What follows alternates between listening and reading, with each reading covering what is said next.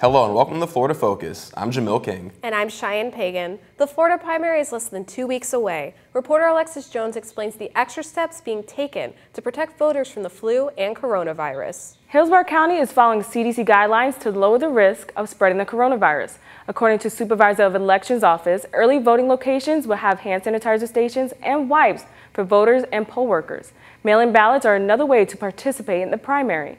This Saturday is the last day to request a vote-by-mail ballot in Hillsborough County.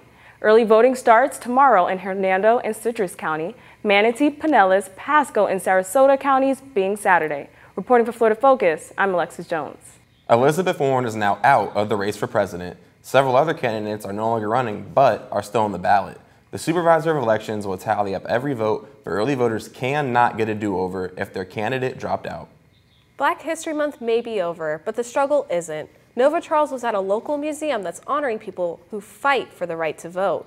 The Sulphur Springs Museum and Heritage Center welcomes visitors to the Civil Rights in the Sunshine State exhibit. It tells the story of the struggle for African American rights in Florida. And it's here just in time to remind us what civil rights activists fought for.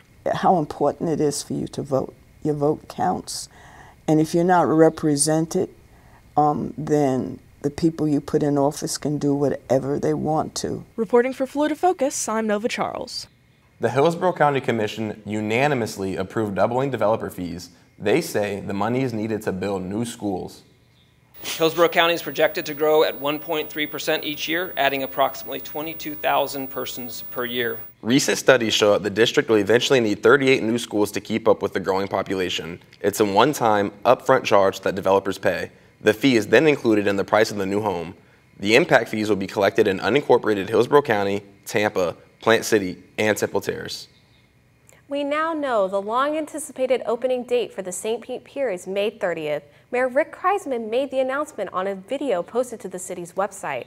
The $92 million project has been under construction since 2017. The 26 acre pier district will offer free admission to the public.